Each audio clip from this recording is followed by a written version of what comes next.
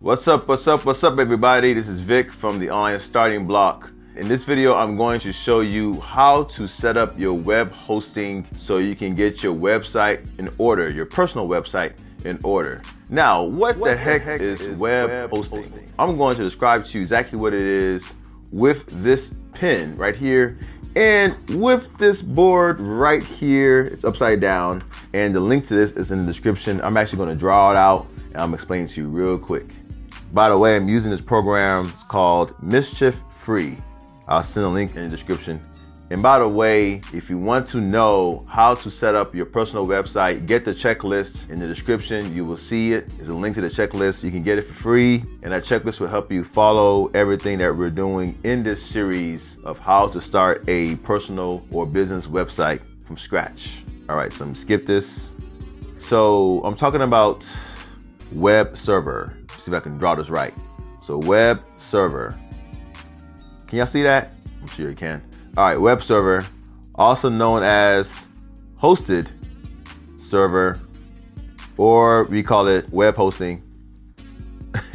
they call it different names or just hosting. They call it all different names, but they're all the same thing. Web server, hosted server, web hosting, hosting. So what is this? What is all this? So let me quickly explain this to you. As I remove all this, let me actually clear the canvas. All right, so what is this? So it's very simple. The first thing to know is this is you. All right, me or you, boom, boom. Let's say it's a good day. You decide to go on the internet, you're on a computer, and then you type in your domain name. So this domain name right here is, what domain name do we have again? I can't remember. A personal study. So a personalstudy.com. That was the domain name we bought in the previous video of this series. So you type in a personalstudy.com. So this right here then accesses the web server. So a server is like a computer. It's just that you don't own the computer and the computer is not at your house 99.9% of the time. So this is your web server. I'm trying. So your web server. So this is your computer and this stores all your website files. So all of your website files are stored in here. And then once it accesses the website files, it will then put the files and show it in your computer or personalstudy.com. It will access the server. The server will show the files and then it will go to computer and that is what you see. You will see a personalstudy.com. So this works for any website, ESPN, Facebook, Twitter, YouTube, whatever website you can think of all of the files of the website are hosted in a server. The server and a database, by the way. So your database is there. That just hold some files, but just know that there is a web server that is there. The web server has your files, and then that's what gets shown to your computer. And that is how it works. So in this video, what we're gonna do is we are going to actually get the web server. So just like there are many companies that are responsible for your domain name, like GoDaddy or Namecheap, there's also companies that are responsible for getting your web server. So your web server, you're actually not going to get it. You're going to reserve it. You're going to reserve a space in your web server. And since we're doing a, a beginner level website for your business or for your personal self, we're not going to reserve a whole lot. It's like you taking a piece of a pie or a piece of a computer and you're reserving it for yourself. And there are a few companies that do that. One is called Bluehost, one is called HostGator, one is called SiteGround. So there's many companies that are responsible for doing this, and we call them web hosting companies or web server companies or hosting companies. These companies host web servers. That's where the word host comes from. So they host web servers, and that's how it works. For this video, we're actually going to use Bluehost to be able to reserve a space. So Bluehost owns web servers, and we're going to reserve a piece of a web server for Bluehost, and that's what's going to have our files for a personalstudy.com. So that is what we're going to do right now. Hopefully that diagram actually made sense. So let's go back to the internets. I said Bluehost was a company where you do web hosting. So let's go to bluehost.com. Now, if I was to do a major website, I would actually use SiteGround, a bigger website or a website that's a marketplace. I actually would use SiteGround because it's a little faster, but Bluehost is the best bang for the buck. especially for new websites and also for blogs as well. Bluehost is really, really big on blogs. And by the way, the link to Bluehost is in the description below, so you will see a link to Bluehost. Click that link. When you see that link, you see this page. You'll likely see two options like this. So what you want to do is you want to go to the one on the left, web hosting done right. So you want to go there. And then it's going to ask you to choose a plan. So what you want to choose is you want to make sure that 12 months is selected. There's also 36 months as well, but click 12 months, which is a year. And then go to the left one, the most left one called basic. Just click select right here. And then from here, it's going to ask you, do you want to register a domain with Bluehost or do you want to use your own domain name? So if I was to go back to this right here, so we use Namecheap to get the domain name right here, a personalstudy.com. However, hosting companies can also let you register domain names. You can register a domain name with Bluehost. So basically Bluehost can do your domain name and your web server or your hosted server the same thing all at the same time. The reason why I didn't do that was simply because I like to keep things separate. If something happens to Bluehost, my domain name won't get messed up. If something happens to my domain name, my web server don't, won't get messed up, which is where all my website files are. So I wanted to keep them separate. It gives me more control. You should always have as much control as possible. All right, so let's go back. And for this situation, we don't want Bluehost to create our domain. We already have a domain that we did with Namecheap, and that domain was, well, yours is gonna be different but mine was a personalstudy.com. So you want to click next. All right, and then from here, you're going to register for a Bluehost account. This is where you actually are going to reserve a piece of the servers or computers, really, that Bluehost has, which only stores website files. So you're gonna put your information right here, and then before I put it, you wanna scroll to the bottom, you wanna uncheck the CodeGuard Basic and uncheck this and anything else that's checked, you want to check that. And then now you see the price is $33. That is a 12 month price for 275 a month. It comes out to be $33. And then after 12 months, you would pay a higher price, or you can do the three year price, which is 36 months, and pay 178.20, but you would pay 178.20 for 36 months. Sometimes if you want to scroll away and if you want to leave the site, a pop-up appears. This is known as an exit intent. Exit, like you're exiting, exit, exit. I can't say the word. Exit. There we go. Exit intent. Exit intent pop-up. Jeez, it took me a long time to say that. So that pop-up comes if you want to leave your site. And sometimes it may give you like a special deal where instead of you doing like 36 months, it may do 24 months. But it looks like it's not doing it right now. So I guess that special is not active as of this video, which is cool. So if you think you're gonna have your website for a long time, just go ahead and do the 36 month plan and just call it a day. You can always upgrade later on. For this video, I'm gonna do 12 months and that's that. So $33, that's that. And then from there, I put my payment information and then we'll go from there. So let me put my information here. I'm gonna put your right address, which is your billing address.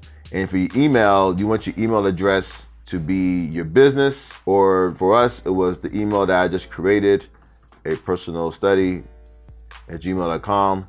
But just know that whatever email address you use to sign up, that is going to be your registration email for WordPress. So every time you log into WordPress, which is where you actually update your files, it's going to use this email address. So make sure that your email address you choose wisely. For this situation, I'm going to use the business email address that I created in the last video. All right, enough talking. Let me just fill out this information. All right, so I put all the information there. Obviously, I'm not gonna show you my card information, but it is there. And so once that is done, you wanna click on this check mark right here, which means you read and agreed to the auto renewal terms. So basically what that means is that after every year, or I guess every couple of years, Bluehost is going to auto renew your account, but you can go into the settings and you can switch that up if you want to. And if you want to cancel your account, you can dial this number and you can cancel within, I believe, 30 days and they give you money back. But if you're trying to get a website done, I'm sure you're not gonna do that. But that is how to cancel your account. Boom, boom. All right, hit submit. All right, so you are in the game. If everything worked out perfectly, you're in the game. So next thing you wanna do is click on create your account. And if you check your email, you will see a receipt so right here, it says create your new password. So your domain name is your domain name. That's actually going to be the username of your Bluehost account. And you want to create a password and retype your password. All right, so once you put your password in, make sure that you check that, click create account. All right, so it says your account is a process being created. Please wait a few minutos, a few minutes to set your password. And it's gonna work in a little bit. So let's give it a second and then we will be good. Ah, I just realized I did something not too long ago. I actually used the wrong email to create this account. Oh Lord, somebody at this email is about to get my thing. Let me actually email this person and say, uh, an email just came to you. Please forward it to me. Thank you. Let me actually email this person.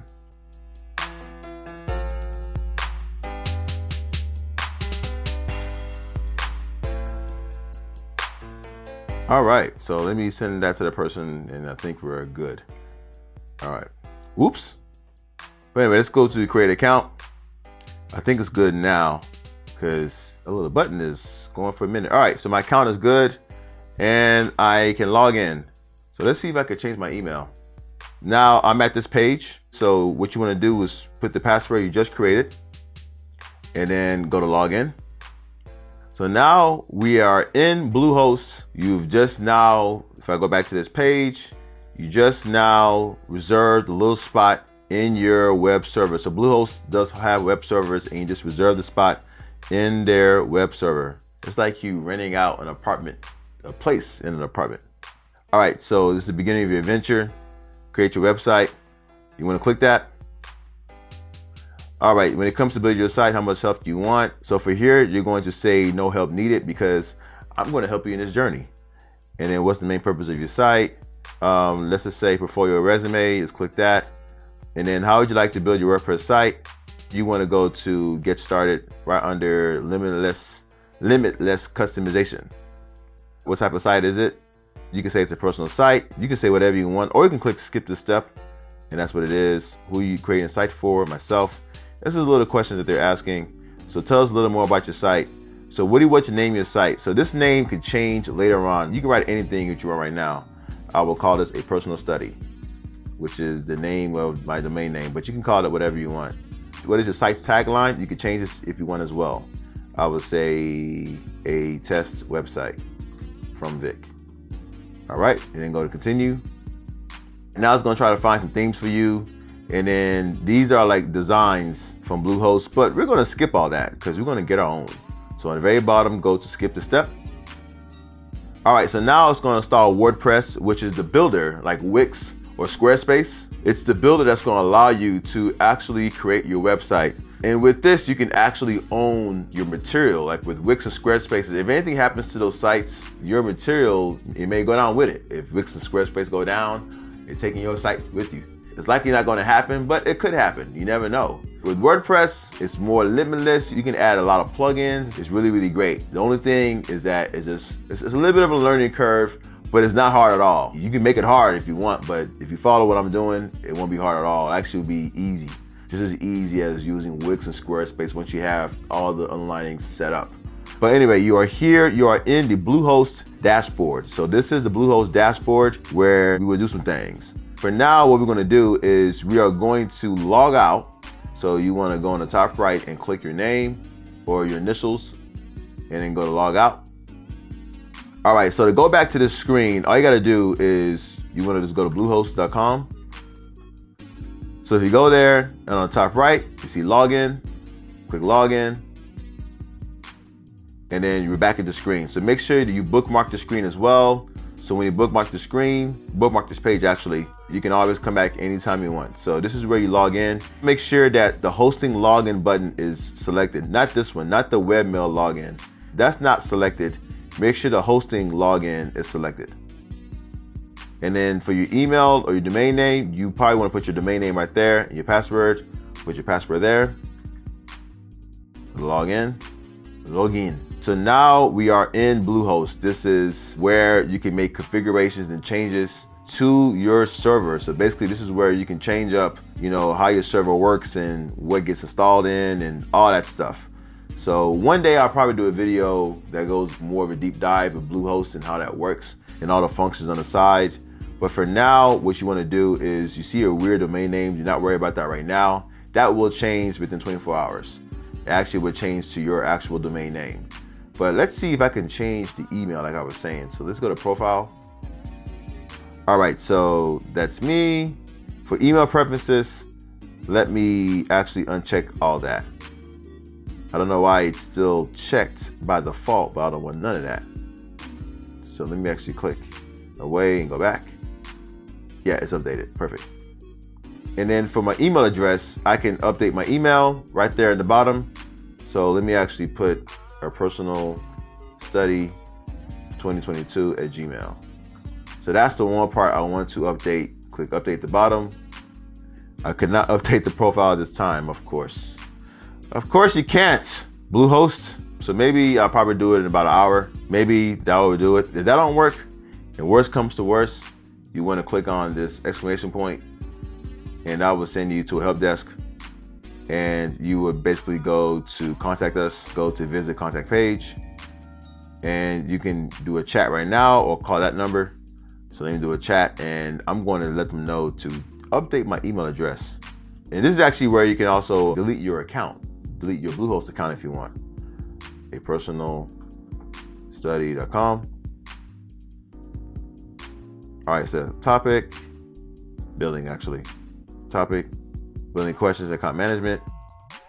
It says, I would like to update my account's email address. It's actually good to show you this this is actually how you can reach out to Bluehost customer service. So you want to reach out to Bluehost customer service if your website's ever down for a long period of time. Bluehost is who you want to contact. You don't want to contact Namecheap or WordPress. You want to contact your web hosting company, which is Bluehost. You know, waiting time is a few seconds. All right, cool. To get started with this, I just have to scroll down and click on Start Chat. And then now a pop-up comes. Boom. So Muhammad is already there. He's, he's already he already ready. We get that done. I tell him the email I wanted to go to, and we'll go there. So as I am doing that, I'm just gonna say thank you for sticking this far, and we're just getting started. I know this is a little bit longer than usual, but remember, nothing good comes easy. I know somebody once told me that. If it was easy, everybody would be able to do it. But believe it or not, everybody can do this. You just gotta know how to do it. And so in the next video, I'm actually gonna show you one little thing you gotta do. And this is actually if you have a domain name with Namecheap or GoDaddy or whoever. There's a step that you have to do in order to connect your domain name to your regular website. Because a lot of people have domain names and they don't know what to do with it. They don't know how to connect it to the website. So the next video, when it appears right here, I'm gonna show you exactly how to do that. Stay tuned for that. This is Vic from the Online Starting Block. Much love.